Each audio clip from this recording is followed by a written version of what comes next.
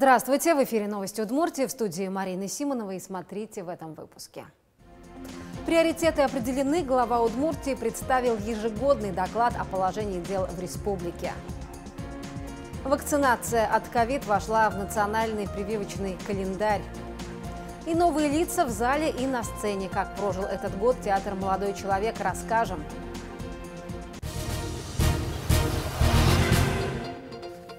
Республика намерена вновь выйти с предложением о перераспределении средств в пользу регионов. Об этом депутаты Госсовета сообщили сразу же после выступления главы. Александр Бричалов представил ежегодный доклад о положении дел в республике. Основные тезисы в репортаже Альбины Валикжаниной. Это уже Свой доклад Александр Бричалов начинает с цифр. В бюджеты всех уровней республики с начала года поступило 268 миллиардов рублей. Из них 75% перечислили в федеральный.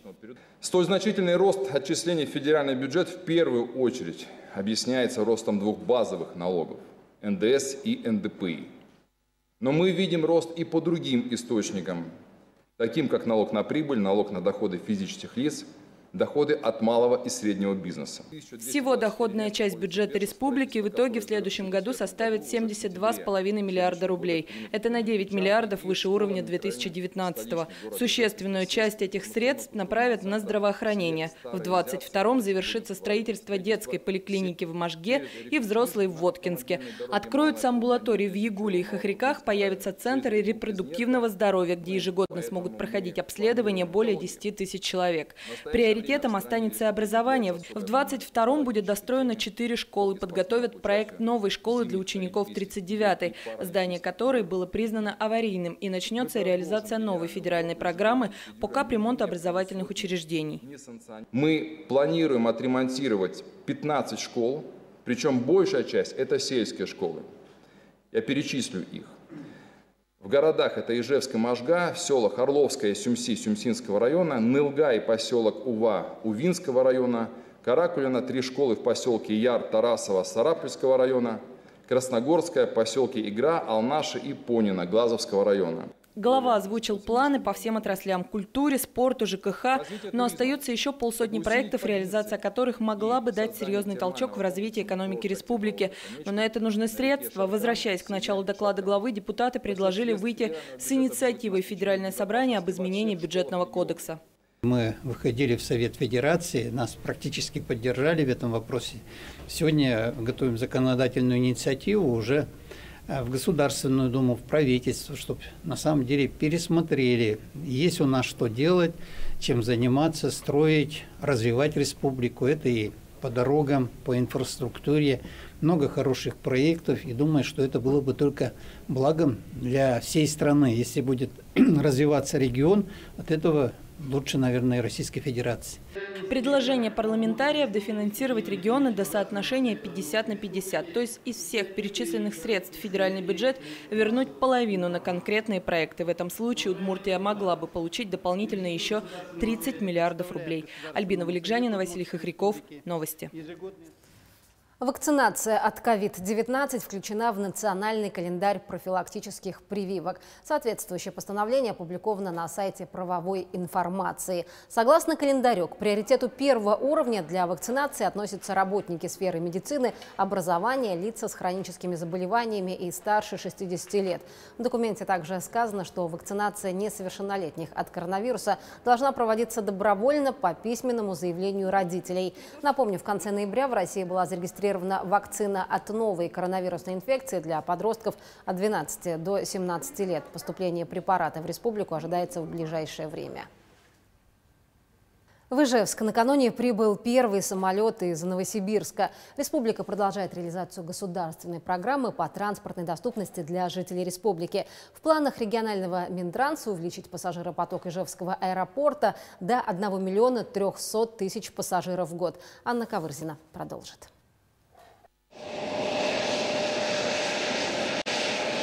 Это первая посадка в Ижевском аэропорту нового рейса. Самолет авиакомпании S7 Airlines прилетел из Новосибирска. Он рассчитан на 78 мест. Время полета – 3 часа. Спасибо. Юлия Чурилова – одна из первых пассажиров нового рейса. Она из Красноярска. В Ижевск часто приезжает в командировки. Раньше дорога занимала больше 10 часов. Теперь втрое меньше. Через Москву летали, долго времени проводили в аэропорту.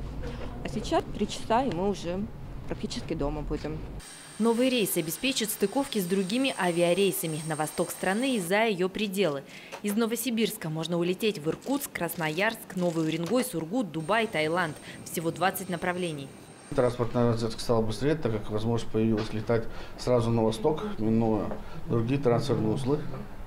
Сразу большой в наш второй хаб Новосибирск, и оттуда разлет дальше на восток. Рейс субсидируемый, то есть он финансируется сразу из трех источников. Это правительство Новосибирской области, это правительство Удмурской республики и правительство Российской Федерации через Росавиацию. Договор республики с новым перевозчиком – часть программы по расширению транспортной доступности для жителей Удмуртии. В 2024 году планируется сдача в эксплуатацию нового терминала с международным пунктом пропуска. К 2030 году мы поставили себе планку увеличить пассажиропоток через наш аэропорт до 1 миллиона 270 тысяч. Вот это как раз сегодняшнее событие, одно из тех событий, которое повлечет увеличение пассажиропотока. Сегодня из Ижевска улететь можно в Москву, Санкт-Петербург, Екатеринбург, Сочи и Новосибирск.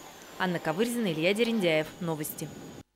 Более 16 тысяч семей в республике рискуют остаться в Новый год без электричества. Столько писем предупреждений разослал «Энергосбыт» в декабре. Должникам советуют не затягивать с оплатой. Сейчас есть возможность еще и списать пени, как расскажут наши журналисты. Мы отпечатываем конверты, из списка должников их очень много, около пяти тысяч. В энергосбыте на полную мощь работают принтеры. В компании готовят уведомления на отключение электроэнергии. В ближайшее время они придут заказными письмами тем, кто не платил за коммунальные услуги два и более месяцев. Вкладываем счет на оплату и само уведомление.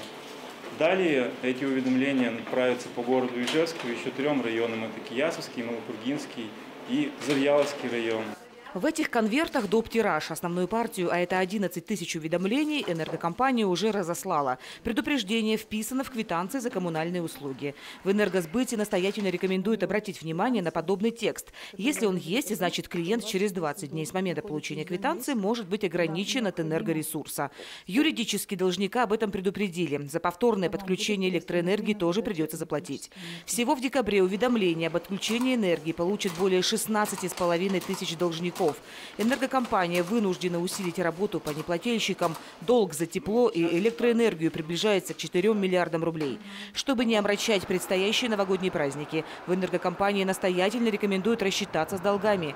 Тем, кто не может заплатить всю сумму целиком, энергосбыт готов предоставить рассрочку платежа, помочь в оформлении получения субсидии. Чтобы получить рассрочку, вы можете зайти в личный кабинет. Если его нет, то вы можете его открыть, зарегистрироваться. Угу. Если у вас нет интернета, например, в силу каких-то обстоятельств вы не можете этого сделать, то у нас есть э, офисы обслуживания на территории Удмуртской республики. Вы можете обратиться туда с заявлением, приложить соответствующие документы. Вам это все объяснят, как это делается, и мы вам а, ваше заявление будет рассмотрено, дана обратная связь. Погасить неоплату именно сейчас может быть еще и выгодно. В рамках акции «В Новый год без долгов» компания списывает пени за просроченные платежи. Подробности на сайте и в офисах обслуживания энергосбыта. Елена Обуховская, Юрий Зелененький. Новости. Итоги года подводит в театре «Молодой человек». 2021 выдался для артистов непростым. Были длинные перерывы. Впрочем, это не помешало работе над репертуаром. А еще в театре за этот год появились и новые актеры, и новые зрители. Разрезаем мех и получаем снежные лапы на елке. В театральных мастерских кипит работа. Здесь готовят декорации для нового спектакля. Впервые на сцене Ижевского театра этой зимой будут искать снег. Ты ведь знаешь, почему в нашем городе совсем нет снега? И вообще никакой погоды, а только мокрая слякоть. Историю про девочку-сыщицу придумала Ксения Драгунская, дочь знаменитого автора Денискиных рассказов. Летом ее не стало. Так что этот спектакль еще и в память о светлом человеке, который так талантливо мог писать. Так отзываются они и в «Молодом человеке» и даже не хотят говорить о писателе в прошедшем времени. она очень хорошо работает со словом. То есть это, это еще смешная литература. И всегда есть опасность, как а театр это не литература. Как раз вот докопаться до того, что там является не литература, вот это всегда, мне, мне кажется, с Драгунского в этом есть, бывает такая сложность. Потому что как бы так сочетаю уже очень обаятельно. А надо дойти до того, что же там, как бы, ну, по театральному говоря, в действии, в театре. Главную героиню спектакля играет Юлия Зайцева, бывшая студентка УДГУ. Год назад вошла в состав молодого человека. В труппу театра ее пригласили после победы в студенческом театральном конкурсе «Огни большого вуза». Я пока немножечко не представляю, как с детьми. Это же, это же их реакция, это же нужно, нужно всегда на них опираться. Они самые крутые зрители, мне кажется. Потому что либо они принимают ты как бы, если ты круто это делаешь, играешь, то они полностью в тебе, и, э, а если нет, то им сразу же становится неинтересно. Поэтому они, на них можно проверять, насколько круто мы сыграли и сделали работу. Новые люди не только на сцене, но и в зрительном зале. В театр потянулись подростки и молодежь. Пушкинская карта открыла возможности для молодых людей чаще бывать в музеях, на концертах и на театральных постановках. В следующем году номинал карты составит 5000 рублей. В этом 3000, и использовать их нужно до конца года. Елена Обуховская, Юрий Зелененький. Новости. И у меня на этом все. До встречи.